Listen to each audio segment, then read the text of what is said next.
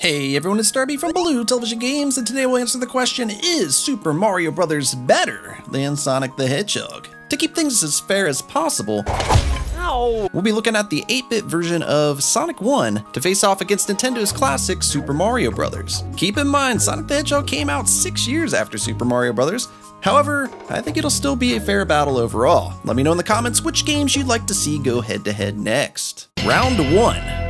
Which game has the better enemies? Super Mario Bros. has 14 different enemies in it. Goombas, the evil mushrooms that betrayed the Mushroom Kingdom. I'll kill you, Mario! Nothing can stop! One stomp, and he dies. Green Koopa Troopa's orders are to destroy Mario. Jump on him and it'll stun him for a bit. You can also kick his shell to take out other enemies. Red Koopa Troopas are similar to green, but also smarter. Green ones will walk off cliffs, while red ones know that walking off cliffs is pretty dumb. The green paratroopa is out of control. If you jump on him, he'll lose his wings.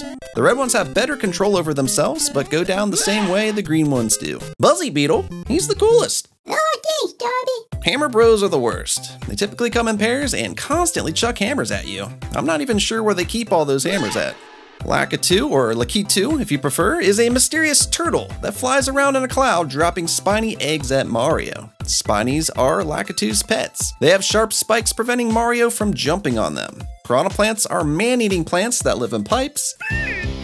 They like to chomp, Bloopers are squid-like enemies that attack in zigzag patterns. If you stick to the bottom of the ocean, they'll have trouble attacking you. Cheep Cheeps are found in the water levels and above ground in some levels as well. They're much easier to dodge in water. They get pretty crazy above ground. Bullet Bills chase after Mario, but they fly in a straight line. Podoboos, Podobos, Lava Bubbles, whatever you like to call them, they come flying out of the lava in castle levels trying to keep Mario from reaching King Bowser. On the other hand, Sonic the Hedgehog has 12 different enemies in its game, however, a better variety as all the Koopa Troopas are pretty much the same. Ball Hogs are like pig robots that toss exploding balls at Sonic. Bombs cannot be destroyed by Sonic, however, they like to self-destruct and try to take out Sonic. Burrobots are the mole-like robot that prefers to attack from underground. Be careful not to get drilled, Hedgehog. Buzz Bomber will try to attack Sonic from the sky. They only shoot one single shot at a time, making for one of the easier enemies in the game. Caterkiller is an evil, choppy face caterpillar robot. You'll want to attack its head and avoid its spiky body. Chopper's a mechanical fish that'll try to eat you. Crab meats are crab robots that walk around occasionally shooting out projectile balls. Uh, yeah. Jaws are named after the famous killer shark, and they look like sharks. What are the odds? 100%. That's the odds, 100%. You're gonna need a bigger boat.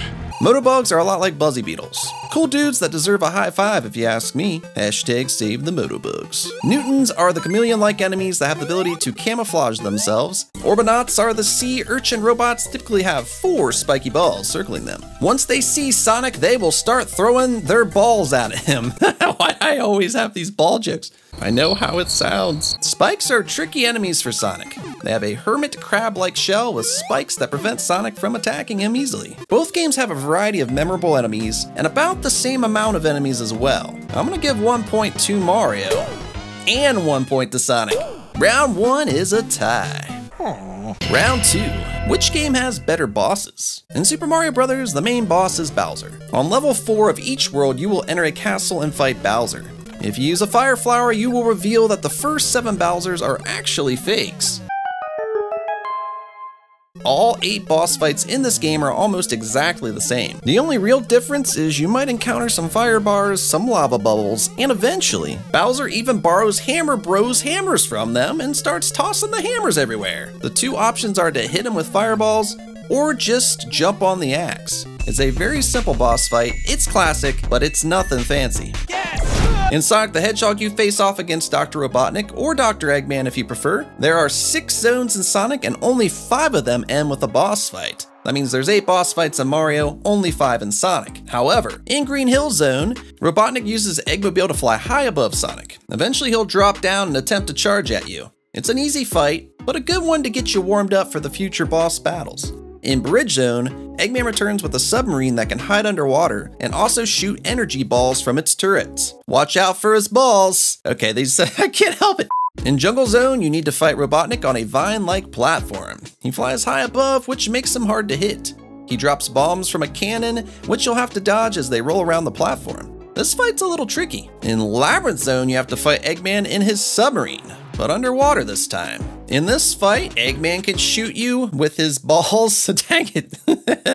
or he can fire a homing torpedo, okay? He does what he does. The final boss is at the end of Skybase Zone. In this fight, Robotnik is in a glass tube and jumping on a switch. He'll fire more balls at you, which can be tricky to dodge because of the zappy spheres that roll back and forth along the ground. Could have said balls there, said spheres, good choice. And uh, occasionally they try to zap Sonic. Super Mario Brothers may have more bosses overall, but Sonic has a better variety of fights. This round has to go to Sonic the Hedgehog. That's round three. Which game has the better music? Super Mario Bros. has some of the most recognizable music in any video game ever. We have the Overworld theme. We have the Underground theme.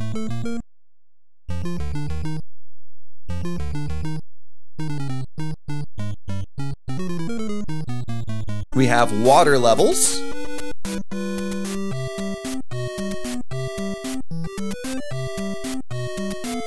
And we have the castle music. Now for the underground theme and the castle music, you get some pretty short loops. There's not a ton to the songs. The real meat and potatoes of Super Mario Bros. is that overworld theme. It's just one of the best video game songs ever. That's pretty much it. There's a short song that plays when you finish the game. The invincibility music, of course, the flagpole jingle.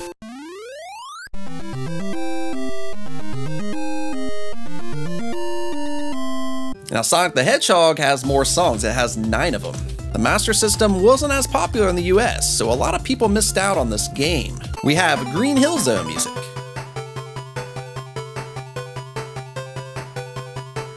We have Bridge Zone music.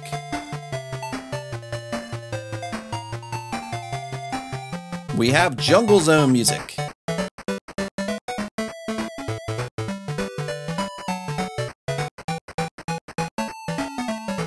We have Bonus Zone music.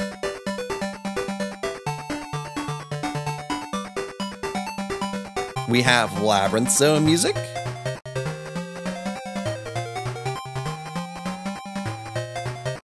We have Scrap Brain Zone music.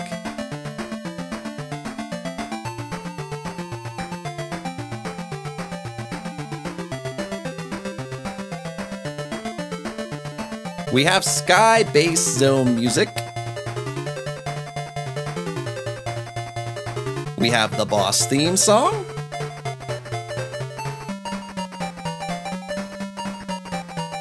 We got the ending theme song. And on top of all these awesome songs, just like Super Mario Bros., it has some short jingles that are really great too, like the music that plays before you start an act and the one that plays at the completion of the act. This was a tough one, but if I'm gonna be fair and honest, I gotta give it to Sonic. It has more songs, and a lot of these songs are really, really good. Alright. Round 4. Replayability. In Super Mario Bros., if you're able to beat 8-4, you are then presented with a new, harder quest. All the Goombas become Buzzy Beetles. Sweet! All the enemies are faster. The lifts are smaller. Fire bars appear in all possible locations and castles, and you'll see enemies added to earlier levels to make things harder. That's a pretty cool challenge once you've beaten the game. Now in Sonic, the only reason to replay the game would be if you didn't collect all the Chaos Emeralds. You need them to get the good ending. Beating the game will not unlock anything new, you'll be playing the same levels all over again. So for replayability, I gotta give this one to Mario. It's a really fun experience to see levels somewhat remixed in your second playthrough, and it's a great challenge. Round 5. Which game has the better bonus room slash special stages? In Super Mario Bros., you have two different bonus areas. First is found by trying to enter the pipes throughout the game. Uh-oh. Where am I? Be sure to check brick blocks throughout the game as well. Some contain a vine that will take you up to coin heaven. Up in the clouds, you get to hop around and collect lots of coins. I mean, those are pretty cool. It's hard to see through those clouds. I hope we can get rid of them. Get the hint? In Sonic the Hedgehog, if you have over 50 rings and hit the signpost at the end of a level, you get to play a pinball-like special stage. In these special stages, you can collect rings for lives, you can collect continues as well. These special stages feel a bit more unique, and for that reason, I have to say Sonic wins this round. round 6 Performance. One thing that really impresses me about Super Mario Bros. is how well the game runs. Rarely do you see any slowdown, the scrolling is very smooth, and you don't hardly see any sprite flickering. Keep in mind this game came out six years almost before Sonic came out. Now Sonic pushes the limits of the hardware, but it does have some issues. I'm very impressed with how fast you can go in this game, but it has some crazy issues with slowdown. Labyrinth Zone in particular. I get you're underwater, but it's so sluggish it really ruins that zone. There's multiple instances in this game where things just seem a little off, and with an overall smoother gaming experience, I have to give this to old Mario. Round 7. The game. Super Mario Bros. has 32 levels and 64 if you count the second quest. To get through the entire game without warps, it could take you up to an hour. Or, you know, 20 minutes if you're a speedrunner. I speedrun this game so good actually. have ah, man, come on! And to do both quests without warps, it could take you two hours to beat the game. Or maybe, you know, 40-ish if, once again, you're a speedrunner. But, but, but, but, but, but, but, but, do boo, but, do, but, but. I don't want to win, Sonic will take about 1.5 to 2 hours to complete. It only has 18 stages. Taking longer doesn't mean it's a better game. My little piggies almost went to the market. That ought to do it. This is more about which game stays fun and doesn't overstay its welcome. Where'd she go? For this round, I'm going to give it a tie. One point for each of you. Round 8 Level Variety. Super Mario Bros. doesn't have a lot of variety in stages. You have an overworld filled with bushes and clouds, underground where bricks are blue, athletic levels featuring tree platforms and lifts, underwater levels featuring seaweed and unique green blocks, and castle levels featuring lava and gray bricks this time. You'll see some alternate versions where it's nighttime, but you basically have five level types. In Sonic the Hedgehog, you have six different zones. Each zone has a completely new look to it. Green Hill Zone features steep hills, green palm trees, beautiful flowers, totem poles, and checkered ground. Bridge Zone features a bright blue sky with clouds, forest and mountains in the background. It has grassy islands, bridges, and a beautiful blue lake. Jungle Zone is a jungle. Imagine that. On South Island with dense trees and huge waterfalls. You'll see lots of green bushes in the background. It really gives you that lost in the jungle feeling. Labyrinth Zone is filled with lots of water. This gives everything a very blue hue. There are vines and crystals scattered throughout. Scrap Brain Zone is a polluted industrial complex. You'll see lots of gray metal, blinking lights, and even a full industrial complex in the background. Sky Base Zone features a dark sky with intense electric bolts that light everything up. Act 1 leads you to Act 2, which is where you board a giant airship. The airship itself practically feels like a new zone. I love the simplicity of Super Mario Bros. 1, but Sonic has way more variety in its levels. Another point to Sonic the Hedgehog. I just don't know what we're gonna win. Round 9. Who has the better power-ups?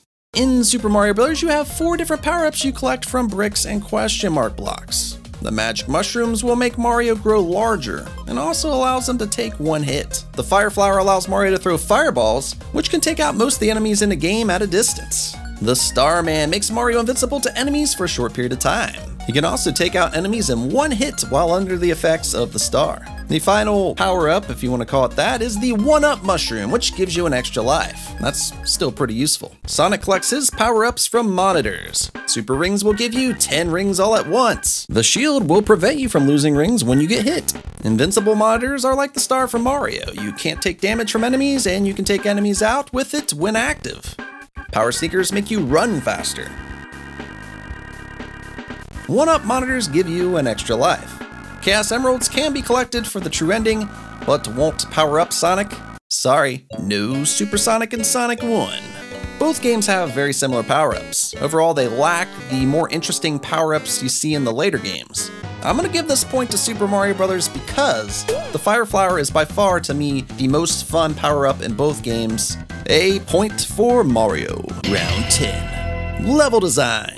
Super Mario Bros. levels are crafted with expert care. Each level teaches you something new and prepares you for the next. The difficulty ramps up expertly and it never feels unfair. There are a couple maze castles where you have to find the correct path to progress. Those are probably my least favorite as it's basically guessing. Luckily, those levels aren't that long. World 8 provides the most challenge as it removes the checkpoints and the levels feel longer. It features some of the trickiest jumps in the game and the ultimate Bowser fight. Sonic does a great job at ramping up the difficulty as you progress. There are some confusing maze levels in it as well. The ones in Sonic are a bit more frustrating as they are longer. In the last two levels of Sonic, you get no rings, which means in one hit, you're dead. Both games are well designed and feature a good difficulty curve. However, I have to give this one to Super Mario Bros. Let's get out while the getting's good. Round 11 Presentation. Super Mario Bros. starts with a basic title screen which transitions into a demo. Once you start the game, you get the lives and level name on a mostly black screen. At the ends of levels, you will jump and grab a flagpole. This transitions into a short automated animation of Mario sliding down the flagpole and entering a castle. Sometimes you'll even get some fireworks. Before some levels, there will be a short cutscene like transition of Mario entering a pipe, which usually leads to an underground level or a water level. Castles mostly end with your buddy Toad telling you that your princess is in another castle. That's until the World 8 castle, where you get to rescue the princess. Sadly, the ending cutscene feels a lot like rescuing the Toads. You do get some cool music though. Besides that, it makes great spaghetti sauce. In Sonic the Hedgehog, you get a short little title screen with a black background. Once you start the game, you get a map of South Island, revealing all the zones in the game. At the end of levels, instead of flagpoles, you'll be spinning signs. Sonic will give you a cool little peace sign too. Before the third act, Robotnik will appear on the map, hinting that you'll be doing a boss fight. No matter if you get the good or bad ending, you will get a cool little cutscene. If you don't collect all the Chaos Emeralds, you'll hit Robotnik one last time, and it'll go to the credits. You also get this cool little pixel art of Sonic singing into a microphone. If you do get all the emeralds, you get the special ending where Sonic will toss all the emeralds into the sky, which removes all of Eggman's evil pollution from South Island. Overall, Sonic has a better presentation with a more satisfying ending. Another point to Sonic. The final round. Which game has a better story? One day, the kingdom of the peaceful mushroom people was invaded by the Koopa, a tribe of turtles famous for their black magic. The quiet, peace loving mushroom people were turned into mere stones, bricks, and even field horsehair plants. And the mushroom kingdom fell into ruin. The only one who can undo the magic spell on the mushroom people and return them to their normal selves is the Princess Toadstool, the daughter of the Mushroom King. Unfortunately, she is presently in the hands of the great Koopa Turtle King, Mario. The hero of the story hears about the Mushroom people's plight and sets out on a quest to free the Mushroom Princess from the evil Koopa and restore the fallen kingdom of the Mushroom people. I mean, that's a pretty cool story. In Sonic the Hedgehog, the story goes as follows. Sonic lives in South Island with all of his animal pals. South Island is also the place where the six Chaos Emeralds lay dormant. These emeralds give energy to all living things, but could also be used for evil in weapons of destruction. this is Dr. Robotnik's plan to get all six emeralds and conquer the world. It's up to Sonic to collect the emeralds first and take out Eggman. Both stories involve saving things. In Mario, it's saving the princess, Toads, and the Mushroom Kingdom. In Sonic, it's saving the entire world. Neither story is too complex, and neither story really stands out as being better to me personally. What do you think? For me, I'm gonna give this one a tie. Final score Mario 7, Sonic 8. Alright, so Sonic takes this one. On paper, to me, it is a better game overall. Now, for me personally, if I could only play one of these games for the rest of my life, I would stick with Super Mario Bros. It's the first game I ever played, and it has that nostalgia factor. I do think Sonic deserves to win this, but it also came out many years after Super Mario Bros. The fact that Mario could stand up to a game that came out six years after it was released speaks volumes to how great of a game it really is. Do you agree with my scores? Which game do you prefer? Let me know in the comments. Which two games would you like to see go head to head next episode? Thanks so much for watching, and until next time, I'll see you around.